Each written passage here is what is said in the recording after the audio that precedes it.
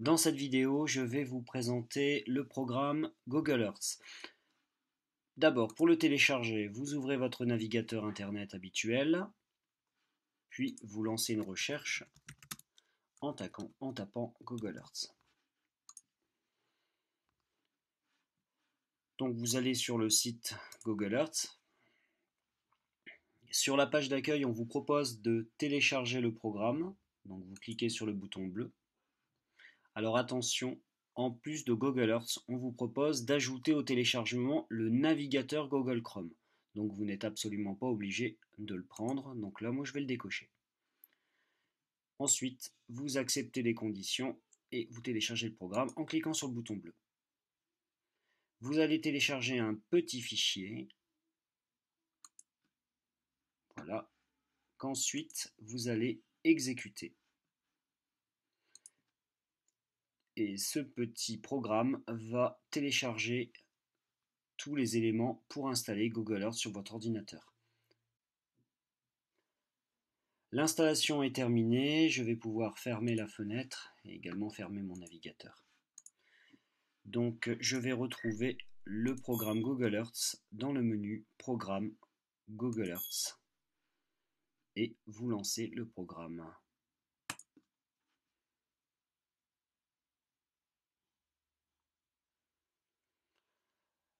Lors du premier lancement, vous aurez une fenêtre qui s'intitule Astuces au démarrage qui vous donne euh, beaucoup d'indications sur le fonctionnement du programme.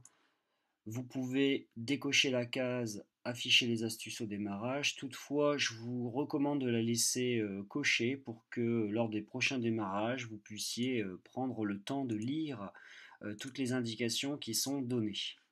Voilà.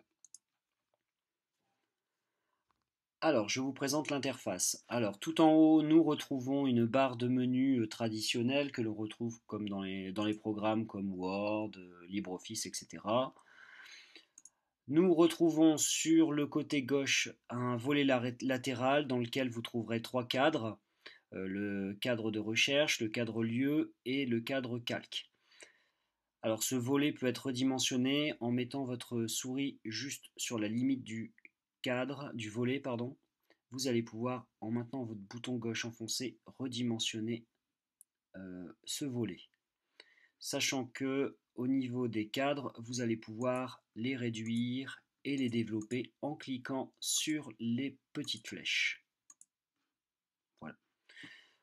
En haut, vous avez une barre d'outils sur laquelle nous reviendrons plus tard. Et enfin, nous avons notre fenêtre de visualisation satellite. Nous allons euh, rechercher le beffroi d'Arras. Alors, dans la zone de recherche, je vais taper beffroi, une virgule, je vais préciser la ville, Arras, je vais même préciser le pays pour maximiser les chances de trouver le lieu recherché. Donc utilisez la virgule pour séparer les informations. Je clique sur recherche, donc Là, Google Earth va zoomer automatiquement euh, sur la zone où il y a euh, beaucoup de résultats. Donc là, au niveau des résultats, je vois en A, Beffroi et patrimoine, place des héros, à Arras. Ben, ça tombe bien, c'est ce que je cherche. Donc je clique.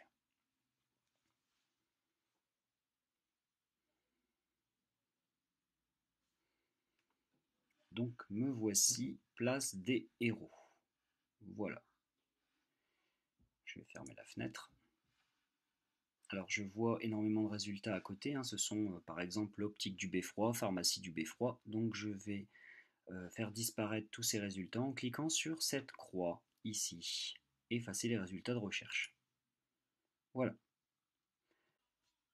Je vais maintenant vous montrer comment vous déplacer dans l'image satellite. Vous avez deux façons de faire. Vous avez euh, l'utilisation de la souris euh, combinée avec euh, une ou deux touches de clavier et vous avez également les commandes qui sont sur le côté.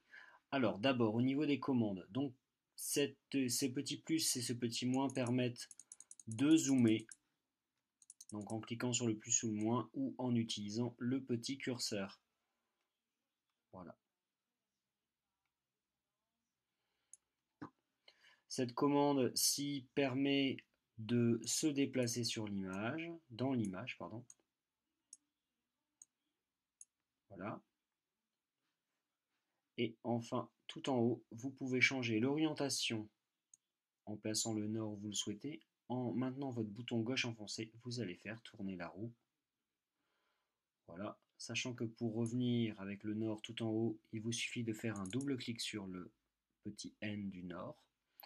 Vous pouvez faire exactement la même chose, enfin vous pouvez changer pardon l'orientation en vous déplaçant sur vous-même en utilisant les petites flèches et vous allez pouvoir changer l'inclinaison de la vue grâce aux flèches. Au niveau de la souris, c'est un peu la même chose. Pour zoomer, vous utilisez la molette de votre souris vers l'avant ou vers l'arrière. Pour vous déplacer dans l'image, vous maintenez votre bouton gauche enfoncé et vous glissez. Et pour tout ce qui est rotation et inclinaison, vous devez maintenir votre euh, touche de clavier Shift ou majuscule enfoncé et vous allez maintenir votre bouton gauche enfoncé. Donc là, en faisant aller ma souris de haut en bas, je vais changer d'inclinaison et en la glissant de droite à gauche, je vais faire des rotations. voilà, des rotations par rapport à l'endroit où j'ai cliqué. Euh, dans les calques, vous trouverez la fonction bâtiment 3D.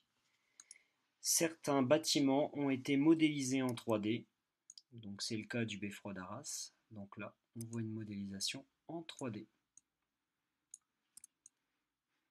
Voilà.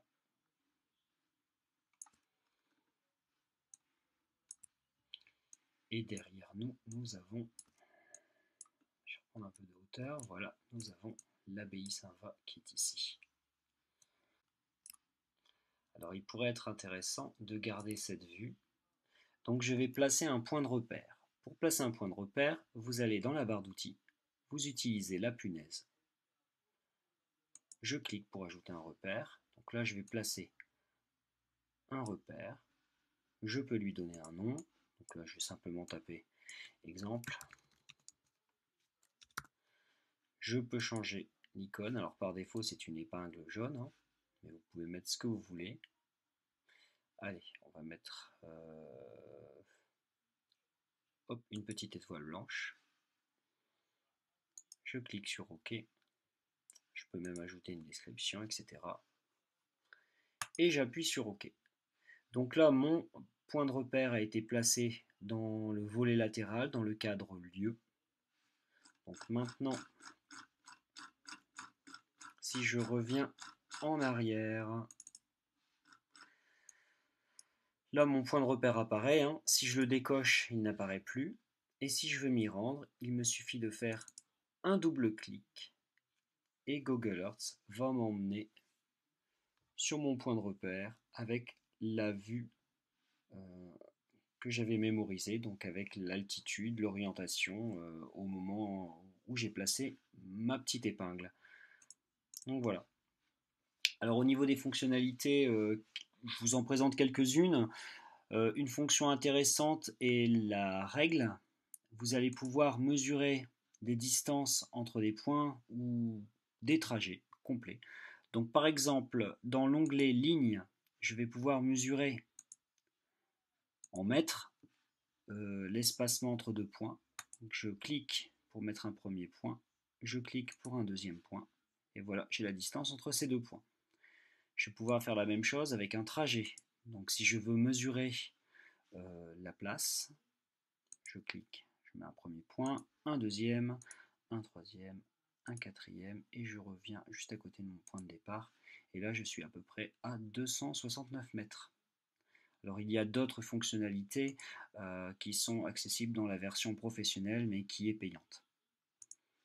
Voilà, au niveau des fonctionnalités euh, intéressantes, euh, vous avez le partage de la vue actuelle par email, vous avez l'impression de l'image actuelle, vous avez l'enregistrement de l'image. Lorsqu'on clique sur ce bouton, vous allez enregistrer l'image au format JPEG, vous allez donc pouvoir la réexploiter autrement. Et vous avez même un lien vers Google Maps. Alors, je clique, j'ai un navigateur qui s'ouvre.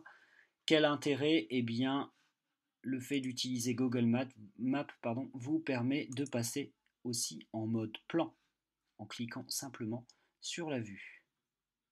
Hop, je repasse en vue satellite. Et pour revenir dans Google Earth, je clique sur le bouton revenir.